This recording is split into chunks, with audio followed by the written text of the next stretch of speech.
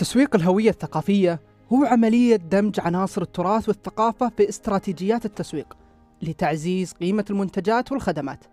هذه الاستراتيجيات لا تهدف فقط إلى جذب العملاء، بل تسعى أيضا إلى تحقيق تأثير عميق في كيفية فهم وتقدير الثقافات المختلفة. عند استخدام الهوية الثقافية في التسويق، يتم التركيز على إبراز السمات الثقافية الفريدة التي تميز المنتجات والخدمات. يشمل ذلك تسليط الضوء على العادات والتقاليد والفنون التي تشكل نسيج الثقافة المحلية ومن خلال ذلك يعزز الفخر الثقافي ويعرف الجمهور على جوانب جديدة ومميزة من التراث المحلي.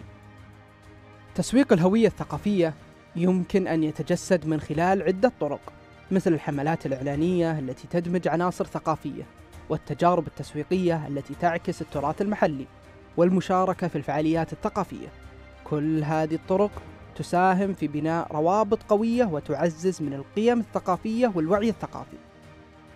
في النهاية، يظهر تسويق الهوية الثقافية كيف يمكن أن يكون التراث والتقاليد أدوات فعالة في تعزيز التسويق من خلال دمج الثقافة في الاستراتيجيات التسويقية، وكيف يمكن تحقيق تأثير إيجابي على مستوى الفهم الثقافي والفخر الوطني، وهو ما يساهم في بناء علاقات قوية ومستدامة.